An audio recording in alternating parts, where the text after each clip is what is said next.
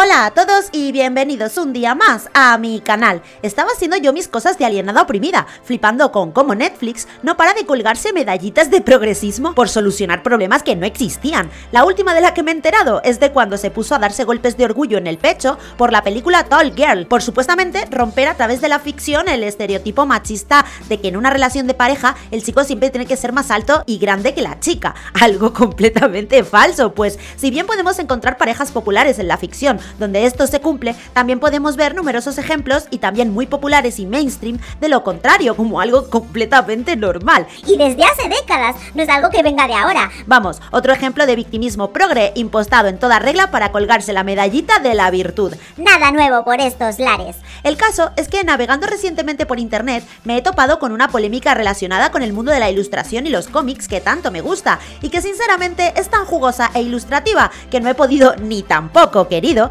resistirme a comentar. ¿Queréis saber qué es lo que ha pasado esta vez? Pues lo primero, antes que nada, adelante con la intro.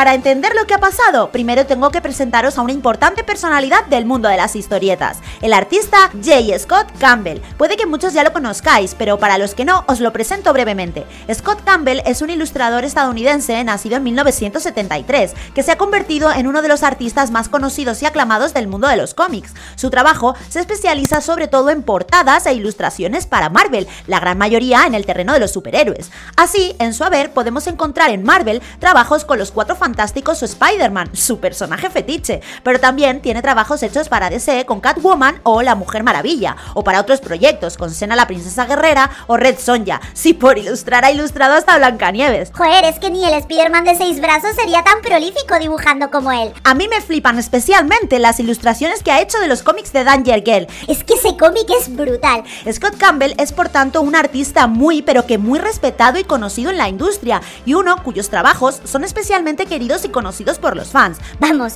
todo lo contrario de quien diseñó esta payasada, ¿os acordáis? Bueno, ¿y qué es lo que ha pasado con este señor? Pues veréis, entre todos sus trabajos, Que si los juntásemos llenaríamos un almacén como el de Indiana Jones. hay uno que es especialmente famoso y conocido con respecto al resto, un trabajo que ha alcanzado la categoría de icónico. Me refiero a la portada del número 601 de The Amazing Spider-Man, que nos presenta a una Mary Jane sexy y anhelante que observa cómo su amor se balancea entre los edificios durante una misión superheroica. Pues bien, resulta que a través de Tumblr, un progre con el nombre de usuario Non-Binary 10 Sí, ahora ya no basta con ponerse sus géneros en la biografía. Ahora te mete lo de que no son binarios en su propio nombre de usuario. se le ha ocurrido arreglar la portada haciendo un rediseño de la pose de Mary Jane, cosa que los progres han aplaudido porque con este arreglo se estaría desexualizando al personaje y cambiando una pose tan poco natural y forzada por otra mejor. Este es el texto original del usuario. He hecho un intento de arreglar esto porque se veía tan mal. LOL,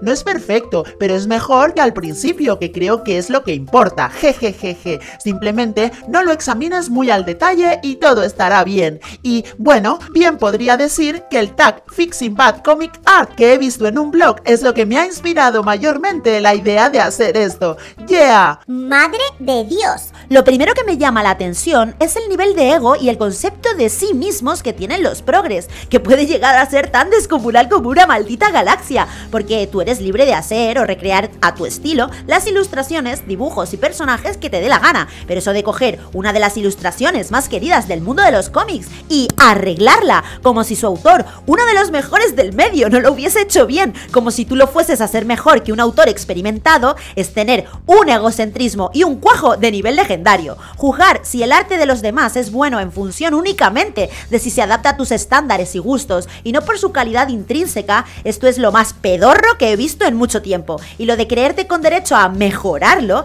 es que eso está al nivel de ir junto a Leonardo da Vinci cuando estaba pintando la Mona Lisa y espetarle, anda, trae para acá el monigote ese y déjame a mí que tú no sabes. Para fliparlo. Y lo segundo es ver cómo persiste esa obsesión progre de considerar escandalosamente sexual cualquier reminiscencia artística al cuerpo femenino voluptuoso, porque no es que estemos hablando de una portada erótica cuya protagonista protagonista busque ser especialmente ardiente y provocadora, sino de la de un cómic para todas las edades donde la figura femenina de su protagonista se ve realzada y mostrada como un elemento de valor. Si es que lo he dicho mil veces, los progres son las nuevas puritanas. Y aún voy más allá de eso, porque vale, personalmente para mí esta portada no es nada del otro mundo, pero vamos a ponerle que se tratase realmente de una portada sensual. Entonces cabría hacer una pregunta que hasta ahora ningún progre ha sabido responder.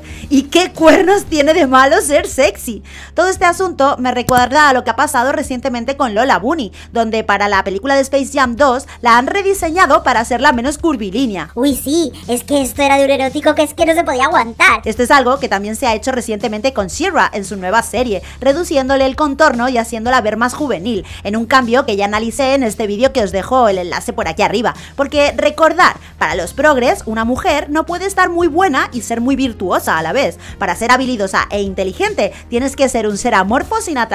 Si eres hermosa y femenina, automáticamente no eres más que un trozo de carne bonito sin valor intelectual. Pero luego te dirán que son ellos quienes rompen con los estereotipos. Y hay que ser cara duras. De todos estos casos de rediseños políticamente correctos, hubo uno que estuve comentando recientemente en mi otro canal, Alienada Café, y que es para sencillamente desencajarse de la risa. Se trata del caso de un hentai en el que los progres rediseñaron a uno de los personajes principales en nombre de la inclusión, pasándola de chica blanca a chica negra, y presumían muy orgullosos de ello. El chiste vino más tarde, cuando se enteraron que dentro del lore de la historia, ese personaje que se pasaron repitiendo hasta el hartazgo, que tenía que ser negra a toda costa, Era una esclava sexual. Genial, Progress. Internet ha registrado vuestras exigencias para que una esclava ficticia tenga que ser negra. ¡Feliz paso a la posteridad! Es que esto es lo que pasa cuando te pones a rediseñar creyendo que estás cumpliendo una especie de misión social y no por simple diversión. Que cuando la cagas no estás cometiendo un simple error, sino que estás traicionando unos preceptos que has vendido hasta el cansancio como lo único bueno y que ir en contra de ellos es el mal mismo. Menos mal que la gente del otro bando no son como vosotros, progres, que si no, ahora os estarían escrachando por las redes haciendo presión para que perdierais el trabajo sin atender ni al malentendido ni a vuestras disculpas. Es que cuando a nosotros no nos gusta algo, no nos convertimos en ello. Tomad notas y eso. Volviendo con el caso de Scott Campbell, resulta que este vio la publicación de Tumblr y no se quedó callado. Muy por el contrario, publicó un tuit en su cuenta oficial con el que llegó a más de 18.000 faps en el que arreglaba el arreglo del progre de Tumblr, haciendo una nueva ilustración a medio camino entre la portada original y el arreglo, recuperando de paso el busto original de Mary Jane y demostrando ya puestos que no se avergüenza de las siluetas con las que dota sus personajes femeninos. Pero es que Scott Campbell fue un poco más allá, pues publicó una captura de la imagen rediseñada del usuario non-binary Finn Mertens, señalándole con un desternillante sarcasmo todos sus fallos como ilustrador, antebrazo hinchado y extrañamente bulboso, Y pone el de Popeye al lado. No solo criticar el trabajo de otros, pero por reciprocidad con non-binary le diré que las clavículas están demasiado altas, sobre todo si tenemos en cuenta la perspectiva. Non-binary ha decidido que el tamaño de los senos y del escote es incorrecto. Yo siempre he creído que es una cuestión de gustos, pero con su arreglo ha conseguido un efecto en la camiseta de traje de baño, ya que faltan las arrugas, los pliegues y el tiro de la tela, que provoca en el dibujo un efecto plano y unidimensional. No puedo dejar de notar que en lugar de parecer relajada y acogedora en el sofá, con su café caliente como en el original, Mary Jane ahora tiene la energía de un alegre cachorro obediente. Esta no es la Mary Jane que yo conozco, pero ¿quién soy yo para opinar? Non-Binary pensó que la forma de sentarse de Mary Jane no era natural y que era imposible. Esto puede deberse a que Non-Binary nunca ha visto a nadie sentado así en su vida, así que su solución, aunque no es incorrecta del todo, pasa por dibujar las piernas de Mary Jane paralelas, lo que hace que la imagen se vuelva estática, poco imaginativa y muy aburrida. Luego, en la siguiente imagen, Scott Campbell nos cuenta cómo ha rediseñado el rediseño, corrigiendo los errores de dibujo de non-binary. Fijaos que ahora la pose es mucho más natural, las clavículas están en su sitio y las piernas no están en paralelo. Pero Scott Campbell tiene alguna que otra pullita más para non-binary en esta imagen. En general, creo que mis correcciones a la versión de non-binary retienen la idea general de que arreglaron el nivel general de sensualidad de Mary Jane de 2009 que le hizo estar lo suficientemente incómodo a non-binary como para pasar por la molestia de crear su versión corregida en primer primer lugar. Oye, que lo mismo non binario está en algo. Quizá le parezca que hacer correcciones no solicitadas y que nadie le pidió es súper divertido. Bien hecho, Scott, con un buen par. Esto desató en los comentarios una guerra entre la gente que defendía la libertad artística de Campbell y su derecho a hacer los personajes como quisiese, defendiendo que el que se viesen exuberantes no tenía nada de malo, y quienes consideraban que esto era algo de mal gusto y que debería adaptarse a las normas de la corrección política. Estos últimos los progres, aunque no creo que haga falta aclararlo. Este mismo, sin ir más lejos. No la has arreglado, la acabas de sexualizar, muy irrespetuoso. Este tuit es el perfecto ejemplo de lo que os decía antes, donde nos dice muy indignada que el personaje está sexualizado. ¿Por qué demonios es malo que un personaje fresco y juvenil se vea sexy? Luego también tenemos a este otro, atacando la pose de Mary Jane con este comentario. ¿Se suponía que el original era cómodo y acogedor? ¿Se ve tan preocupada e incómoda? ¿A qué te refieres? No, amiguita, estás partiendo de una premisa falsa, porque sí, está en su sofá tomándose un café, pero precisamente lo que refleja esa portada es que a pesar de esa situación aparentemente confortable, no puede evitar tensa e inquieta porque está viendo por la ventana cómo el hombre al que ama se lanza a luchar contra Dios sabe que amenaza y está preocupada porque en cualquier momento puede pasarle algo. Eso es lo que nos dice lo que vemos, que ya podría estar la chica en un baño de burbujas, que no va a estar cómoda hasta volver a tener al amor de su vida a su lado. Tantos han sido los comentarios sobre lo imposible e irreal de la pose de la novia de Spider-Man que muchos usuarios han salido a desmentir esto rescatando trabajos de cosplayer, demostrando que esa pose está lejos de ser algo imposible de replicar y que de hecho también puede verse bien y creíble en personas reales, haciendo trabajos muy logrados replicando la mítica portada viéndose naturales.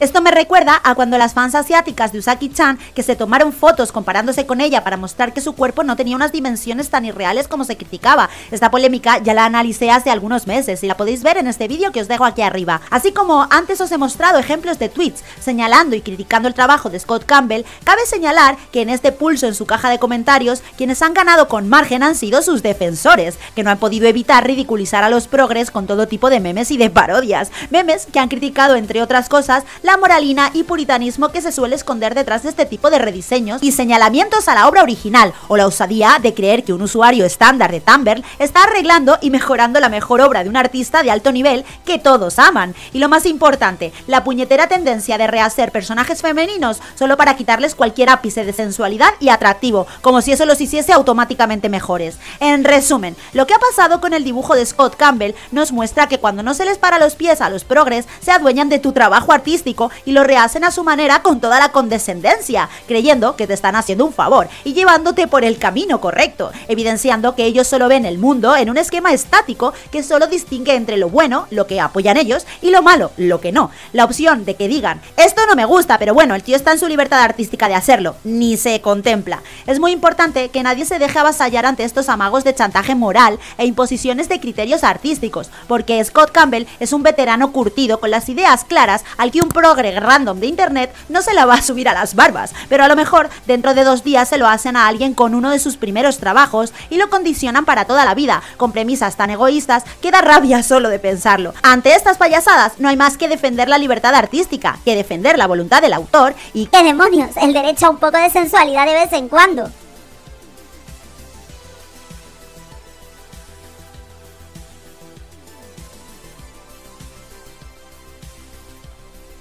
Y esto ha sido todo por el vídeo de hoy. Si te ha gustado, dale a like, comenta, comparte y todas estas cosas.